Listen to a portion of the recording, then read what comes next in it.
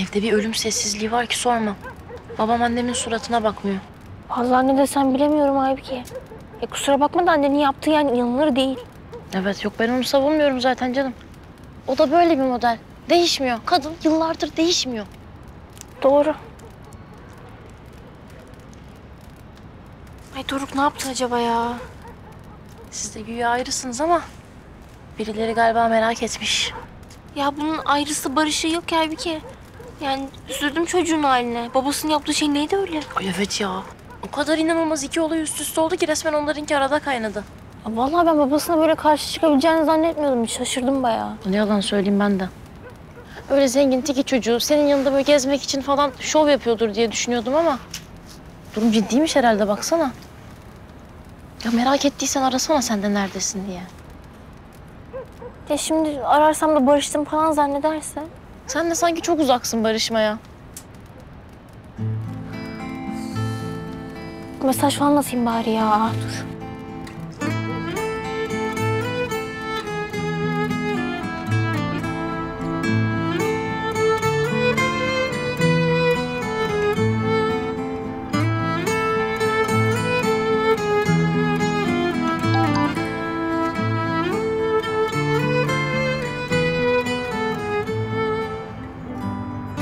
Neredesin?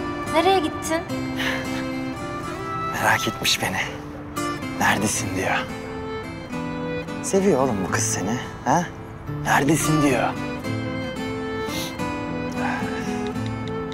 Bir yere gitmedim. Sizin oradaki parktayım. Aa. Çok üşüyorum falan mı deseydim acaba ya? Yine battaniye getirirdi belki. Azıcık daha görürdüm. Tüh ya. Attık. Bekle, geliyorum. İşte bu ya. Güzel kalpli sevgilim. Kıyamadı bana.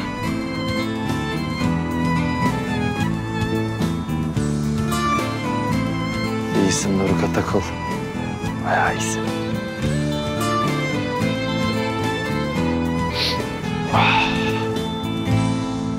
Alo. Mazlum abi ya ben sana bir şey soracaktım. Müsait misin?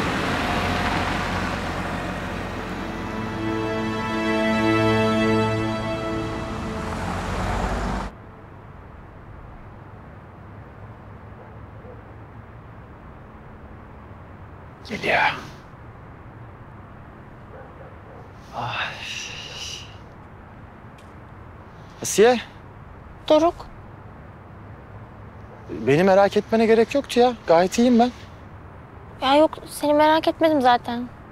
Ama hava da çok soğuk yani. Şimdi sen parkta yatarsan bu gece sabaha kadar hastanelik olursun. O yüzden geldim. E beni merak etmişsin işte. Aynı şey. Ama korkma. Bir şey olmaz bana. Güçlüyüm ben. Dayanıklıyım yani. Yalnız onlar seni soğuktan koruyamaz. Aslında beni soğuktan ne korur gayet iyi biliyorum. Ama şimdi söylersem kızarsın. Kadir. Ne yapıyorsun oğlum? Gelmedi mi daha Ömer? Yok amca gelmedi. Gelmez tabii. Sinirlendi çocuk. Lan haksız da değil yani. Ya Mother'ın bir ara çok iyiydi ya. Ne oldu da fabrika ayarlarına geri döndü? Vallahi anlamadım ha. Para oğlum para. Anam parayı gördüğü zaman kafa gidiyor onun. Başka biri oldu ya.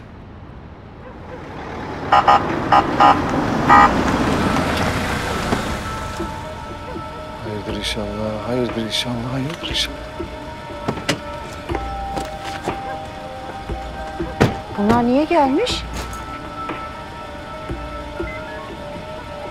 İyi akşamlar. İyi akşamlar memur bey. Şengül Eren'e bakmıştık biz. Buyurun ne oldu? Hakkında bir şikayet var. Karakola götürüp ifade almamız gerekiyor. A- amirim yanlışınız olmasın yani ben böyle kendi halinde bir kadınım. Kim niye beni şikayet etmiş olsun ki? Bizim bilgimiz yok hanımefendi. Biz de verilen talimatı uyguluyoruz. Neyse tamam bir şey. Olcan, ananın çantasını getir. Oğlum dur dur. Emin misiniz bir yanlışınız olmasın? Ya tamam Şengül bir heyecanlanma tamam mı ya? Bir gidelim öğrenelim neymiş. Olcan kime diyorum oğlum ben? Orhan sen de benimle geleceksin mi? Geleceğim Şengül geleceğim. Sen de geleceksin değil mi? Tabii yengem tabii yalnız bırakır mıyız seni? Sakin ol. Arabanın içine mi koyacaklar beni? Hadi oğlum. Al çantanı. Madırım baba biz de mi gelelim? Oğlum nereye geliyorsunuz ya? Kucağımıza mı oturacaksınız? Allah Allah. Yürü. Gel. Birbirinize sahip çıkın.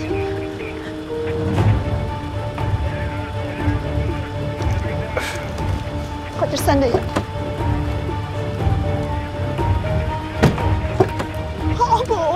Bindirecekler Tamam hadi beni. geç hadi. Tamam yengem.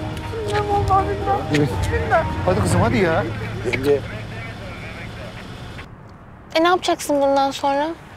Yani tamam evi terk ettin de nasıl yaşayacaksın? Nerede kalacaksın? Bilmem. Bence ben de sizin gibi hem çalışıp hem okuyarak hayatıma devam edebilirim. Doruk sen hiç çalışmadın ki. Hamburgercideki üstün performansımı unutuyorsun sanırım. Ya Doruk sen oraya benimle yan yana olabilmek için girdin. Ya bir de o zaman paraya falan da ihtiyacın yoktu ama şimdi olacak. Böyle canla başla çalışman gerekecek. Artık öyle müşterilere gülümseyerek falan para kazanamazsın. Bak ya. Nasıl kıskanmış, içine atmış. Müşterilere gülümsüyordum demek ha? Yok ne, kıskanacağım ya? Ya ben sana ciddi bir şey soruyorum. Niye dalga geçiyorsun? Ya sen şu an beni bayağı bir küçümsüyorsun biliyor musun? Tamam. Bu zamana kadar bir prens gibi yaşamış olabilirim. Ama hayatın dikenli yolları olduğunu biliyorum. O yüzden bedenimi katlayıp bir kenara bırakarak hayatın o dikenli yollarında ben de mücadelemi verebilirim. Ama bana o pelerini çıkartınca biraz üşüyüp hastalanacaksın. O dikenli yolda kan revan içinde kalacakmışsın gibi geliyor da neyse. Belki de öyle olur. Ama bence denemeye değer. Eğer bu yolda kendi ayaklarımın üstünde durup kişiliğimi bulacaksam... ...tacımı da, pelerinimi de bırakmaya hazırım ben. Hem belki o zaman sen de bu emekçi çocuğa farklı bakıp... ...yeniden sevgilisi olayım dersin ha? Ne dersin? Doruk nereye getirdin konuyu ya? Ne alaka?